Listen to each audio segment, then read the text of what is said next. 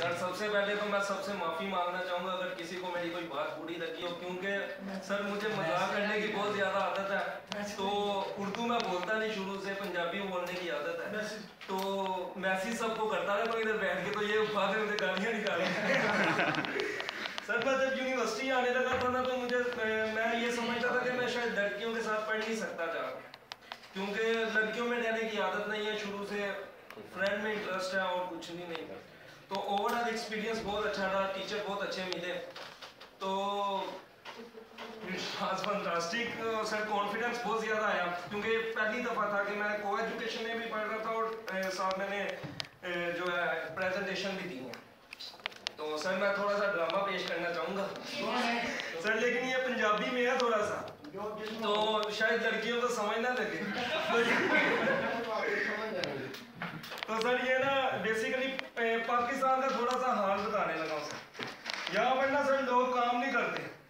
सारे हाडे हराम होते ने। जिन्हों पूछो की करना, वो कहना मैं रोटी खान चलना। किधर आया, रोटी खा के आया? और कोई काम ही नहीं कर सकते। और सर, अगर कोई बाइक पे जा रहा हो तो वो किसी को मोटरसाइकिल मार देता है। वो आगे से उसको उसको सोड़ी गाने के बजाय उन कहता ओए उठ जा तेन बाबू आज गया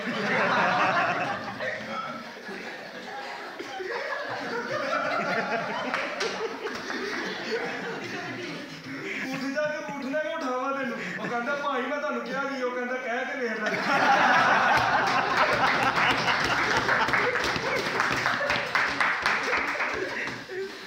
सर पाकिस्तान में ये भी है कि एक सालों को सेट करने का बड़ा बंदों को होता है कि मेरा साला सी उन्हें सेट करना लोग अमीर से गरीब हो जाते हैं। अच्छी बड़ी कपड़े की दुकान होती है। बाद साइकिल से लठा बेचते होते उन्हें पूछो मतलब चोई साहब की होया? चोई साहब कहते हैं जी, बस की दसा यार, साला नाल लाया सी। सब लाख रुपया। मेरे ना मेरे ना का उधारा चुक ਕੈਨੇਡਾ ਦੱਸ ਗਿਆ ਤੇ ਕਰਜ਼ ਲਾਲਾ ਨੇ ਮੈਨੂੰ ਦਿਲ ਦਾ ਅਮੀਰ ਬਣਾ ਦਿੱਤਾ साड़ी का रिश्ते अगर ढूंढने होना किसी ने तो वो ये कहते हैं हाँ भैया मैं इजाद की वो कहना चौधरी ने नहीं नहीं पिछो ते मोची ने ਪਿੱਛੋਂ ਮੋਤੀ सब अगर ये पिंडों में ध्यान रिवाज होता है कि अगर किसी ने ब्याह ते बुलाना बुलाना होवे तो हर किसी ने वखरा मूड बनाया था चाचे ने वखरा मूड बनाया ਉਹਨਾਂ ਨੇ ਜਾ ਕੋ ਚਾਚਾ ਜੀ ਤੁਸੀਂ ਵਿਆਹ ਤੇ ਆਣਾ ਚਾਚਾ ਕਹਿੰਦਾ ਜੇ ਦੇ ਆਂਦੇ ਗੋਜੜਿਆਂ ਦੇ ਤੇ ਮੇਰੀ ਆਂਦੀ ਜੁੱਤੀ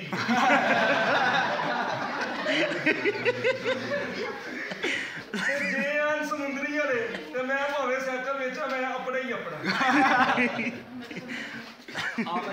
बेसिकली ना यहाँ पे इनकम सिस्टम जो पाकिस्तान में है वो ये है कि ਗੜਮੇ ਇੱਕ ਬੰਦਾ ਕਮਾਉਣ ਵਾਲਾ 14 ਜਣੇ ਖਾਣ ਵਾਲੇ। ਜਿਹਨੂੰ ਪੁੱਛੋ ਕੀ ਕਰਨਾ ਕਹਿੰਦਾ ਮੈਂ ਤਾਂ ਕੁਝ ਨਹੀਂ ਕਰਦਾ ਵੱਡਾ ਬੜਾ ਕਰਦਾ ਚਾਰ ਬੰਦੇ ਤਾਸ਼ ਖੇਡਦੇ ਹੁਣ 6 ਜਣੇ ਉੱਤੇ ਖਲੋ ਕੇ ਡਾਇਰੈਕਸ਼ਨ ਦੇ ਰਹੇ ਹੁੰਦੇ ਨੇ। ਓਏ ਗੋਲਾ ਨਾ ਸੁੱਟੀ ਗੋਲਾ ਨੂੰ ਲੱਗ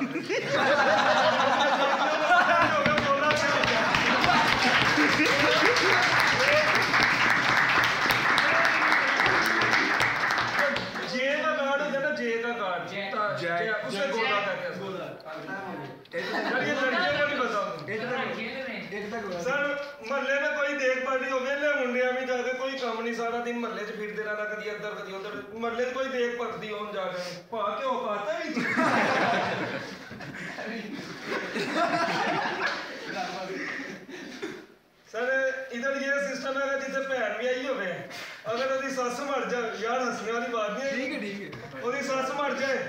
ਤੇ ਬੈਠੇ ਬੈਠੇ ਚਾਰ ਦੇਗਾ ਸਾਰਿਆਂ ਨੇ ਪੈ ਜਾਂਦੀ ਉਹ ਸਾਰਾ ਇਹਦੇ ਮੂੰਹ ਧੋ ਰਿਹਾ ਹੁੰਦਾ। ਉਹ ਇਹਨੂੰ ਮੂੰਹ, ਉਹ ਬੱਚਾ ਆ ਕੇ ਕਹਿੰਦਾ, ਭਾਜੀ ਤੇ ਭੈਣ ਨਹੀਂ ਲਈ? ਉਹ ਕਹਿੰਦਾ, ਗੱਲ ਘਾੜ ਓਏ। ਕਹਿੰਦਾ, ਉਹਦੀ ਸੱਸ ਮਰ ਗਈ। ਉੱਤੇ ਮੜੇ ਉਹ ਨਹੀਂ ਮੜੇ ਬਹਿ ਗਿਆ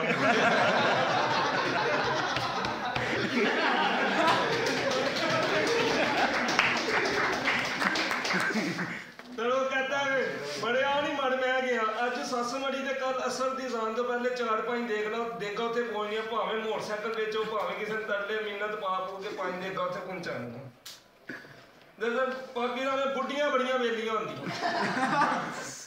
ਉਹਦੀ ਚੁਗਲੀ ਕਰ ਲਿੱਤੀ, ਉਹਦੀ ਚੁਗਲੀ ਕਰ ਲਿੱਤੀ। ਦੁਪਹਿਰ ਦੀ ਹੁਣ ਹਾਂਡੀ ਪਕਾ ਕੇ ਤੇ ਬੁੱਢੀਆਂ ਮੜਾਂ ਨਾਲ ਹੋਈਆਂ ਹੁੰਦੀਆਂ। ਆ ਕੀ ਕਹਿੰਦੀਆਂ ਪੱਖਾ ਮੇਰੀ ਕੱਲੀ ਵਾਲ ਕਰ ਦਿਓ। ਮੜਾ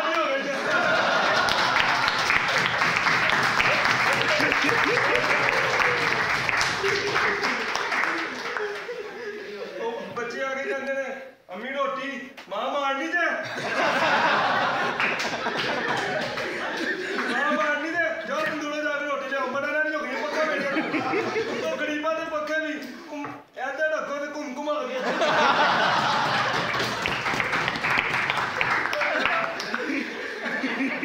ਕੋਈ ਬੰਦੇ ਜਿਹੜੇ ਸੁੱਤੇ ਹੁੰਦੇ ਨੇ ਕਹਿੰਦੇ ਵੇਚਦੇ ਹੁੰਦੇ ਨੇ। ਨਹੀਂ ਆ। अंग्रेज सर होते हैं अंग्रेज आखिरी आइटम वाइन सर दो सिर्फ दो सर जो अंग्रेज होते हैं ना थोड़ा खाते हैं अपनी सेहत का ख्याल रखते हैं इधर लोग चार पावे खाते हैं दो खद्दा खाती हैं चार नान लस्सी का ढोल सुन हुए पूछो की किधर जा रहा पता ही नहीं लगन दिया